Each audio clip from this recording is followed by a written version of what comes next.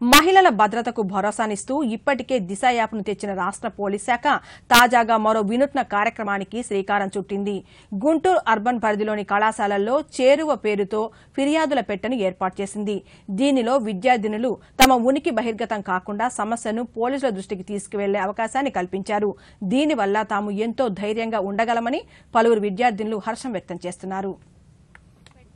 ఏమైనా ఏమైనా ఇష్యూస్ ఉంటే వాటి వల్ల సార్ కూడా సొల్యూషన్ తీస్తానన్నారు. సో ఇది చాలా గ్రేట్ పని అని అనుకుంటున్నాను ఇలా పోలీస్ వాళ్ళు వచ్చి ఇలాంటి మంచి మంచి ప్రోగ్రామ్స్ కండక్ట్ చేయడం వల్ల మాకు కూడా కొంచెం అవేర్నెస్ ఉంటుంది.